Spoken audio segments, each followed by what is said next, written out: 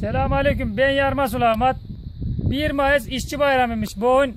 Sizlere sesimi buradan duyurmaya çalışacağım. Bunlar çayır kaşları.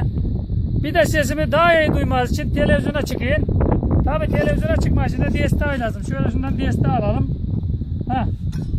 Şimdi sevgili arkadaşlar 1 Mayıs işçi bayramı, işçinin bayramı. İşçi dediğin şöyle benim gibi olacak. Eli ayağı kara şöyle elleri nasırlanmış olacak. Biri çıkmış oraya amir memur takımı tadil etmiş boyun. Ya siz neci kutlarsınız ya? Oraya masanın başına oturuyorsunuz. Fırı dönmüş gibi sandalyede dönüyorsunuz. Ne oldu bu on işçi bayramı var? Seyit Taksim'e çık. Ya Taksim'e çıkmayla bayram kutlanmaz. O daracık yerlerde kendinizi ya oralara boğmacıya vermem. Şöyle gelin o çayır kaşlarına o geniş arazileri bir tanın bakın şöyle size gösteriyorum. Bunlar işte çayır kaşı. Çayır kaşı deyince o aşağı çayır burada yüksek olunca kaşı. Şimdi size kısaca şöyle bir örnek vermeye başlayayım. İşçinin bayramı mı olur? Aslında işçinin bir bayramı olmaz. Hele hele o şehirde masa başında çalışanların zaten bayramı olmaz. Böyle çapıyla, güreyle, canıyla, başıyla çalışanların bayramı olması lazım. Aslında mesela benim niye bayramım yok? Yok işte. Çünkü biz dağda taşta çalışıyoruz. Esas bayramı hakikaten benim. Benim bayramımı da siz kutlayın. Benim bayramım işte şu ocakta kara çencere görüyorsunuz işte. Bunun içi kaynarsa benim bayramım odur. Bizlerin bayramı böyle çalışarak, var ederek olur. Bu bayramımı size şu gördüğünüz şeylerle yiyerek içerek kutlayalım. Lokumula, pis gevdile. Şöyle bunu demir çelik yapa yapa ye ye bayramımızı kutlayalım.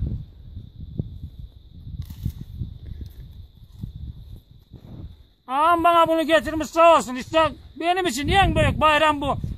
Bir de akşamaya varınca bir tencere pilav, iki sahan ayran yanında, bir topak tas turşu, bir de sulu ompul varsa işte en büyük bayram o. Sağlık sıhhatinde yerinde de onun dört sahanını yiyebiliyorsan en büyük bayram o.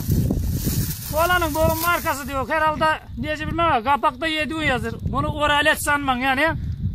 Bu da yediğinmiş. Bunu da içeceğiz. Bu ben İsrail bile satın almadı gene yani. Size kısaca tarım aletlerimi tanıtayım. Ben yani işçilikten geldiğim için söylüyorum bunu. Şu gördüğünüz çapa. Bunu ola sanman ki bir yerde yani masa başında bilgisayar çalıştırılmaz bu. Şuraya koyalım. Bunu ola arkadaş el alayasın. Yayır cayır çalışacaksın. Fidanı çapalayacaksın. Akşamaya şöyle vücudun yorgun vardın da dinlendin miydi? En büyük bayram bu işte sizlere ya. Bu aletleri bundan sonra ben öldükten sonra da çocuklarıma bırakacağım. Tarım aletlerim. Çapa, kürek, mecirefe, şuna da beldirler. Bununla da bağ yapılır. Televizyona çıkar kadar muazzam bir destek insana yani. Ee, size şöylece örnek vereyim bir de. Boğun işçi bayramında tüm işçilik yapan arkadaşlarımın yani çalışmak zorunda kalanların bayramını kutluyorum. Orada Taksim'e çıkıp da önüne bir kağıda bir şey yazıp da bir Mayıs yazmayla bayram kutlanmaz. Bayram kutlayacaksın, geleceksin doğal ortamda, toprakta çalışacaksın. Oturun da şöyle dinlendin miydi, yattın mıydı? İşte işçi bayramı bu ya işte şöyle kılığıma bir bakın bakın. Kravatını takmış adam. Boynuna da bir şey asmış gazete. Neymiş? İşçi bayramıymış efendim. İşçi bayramı öyle olmaz. İşçi bayramını böyle doğal ortamda kutlayabilirsiniz. En büyük bayram bu. Bakın bu pis evde de ye ye otur otur gülüş gülüş de çalıştın mı en büyük bayram bu yani. İşçinin en büyük bayramı şu ocakta kara çencere. Gidip oraya bere sendike mendike bere üye olman.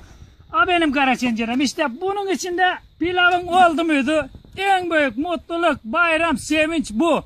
Yaşasın işçilik, yaşasın amelelik, yaşasın çayır kaşları.